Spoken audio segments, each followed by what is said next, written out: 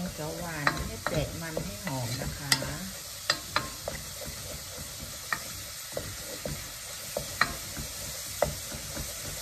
ผัดด้วยออยนะคะโอลิฟออย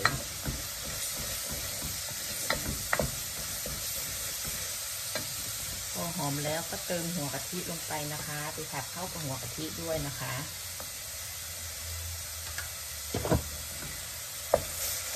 กะ ทิแม่พลอยเขาจะเข้มข้นมากนะคะเนี่ยหัวกะทิเลยค่ะนะคะเย่อให้หอมให้แตกมันนะคะ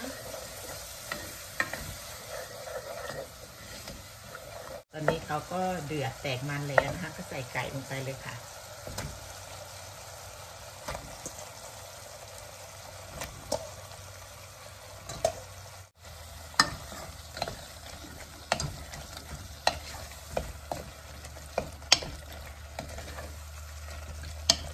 จนไก่สุกเลยนะคะ เขาจะได้อร่อย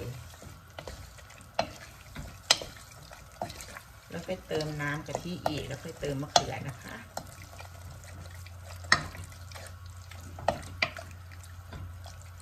หม้อก็เดือดนะคะ ก็เติมน้ำกะทิลงไปอีกนะคะ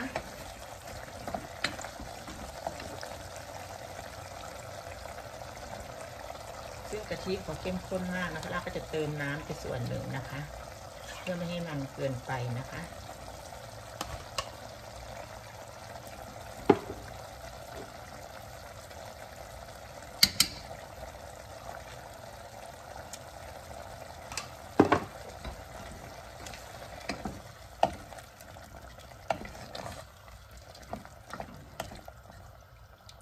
เติมน้ำอีกส่วนหนึ่งค่ะ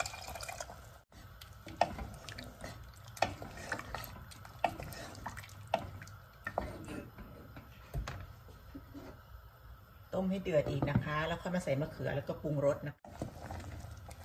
ตอนนี้ไก่ก็สุกน้ำก็เดือดนะคะเติมมะเขือลงนะคะ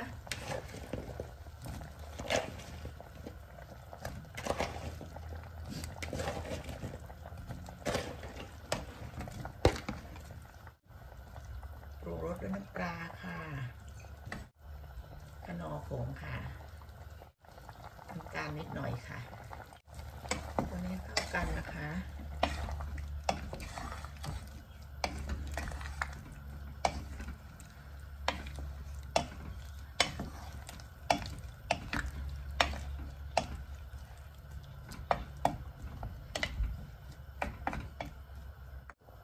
ปิดฝาให้มะเขือสุกนะแล้วมาชิมรสนะคะ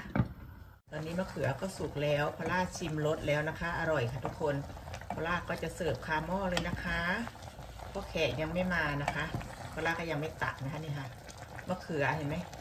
แกงยังไงมะเขือไม่ดำมะเขือไม่เละนะคะแกงเขียวหวานแบบสไตล์พอล่านะคะเนี่ยค่ะมะเขืออาจจะแก่นิดนึงแต่สุกแล้วก็ดูสีสันสวยงามค่ะไม่ดำไม่เละนะคะแกงเขียวหวานไก่นะคะ ให้ฝรั่งทานง่ายๆสไตล์พล่านะคะพล่าก็เสิร์ฟคามอนนะคะทุกคน ขอบคุณที่รับชมนะคะ บ๊ายบาย สวัสดีค่ะ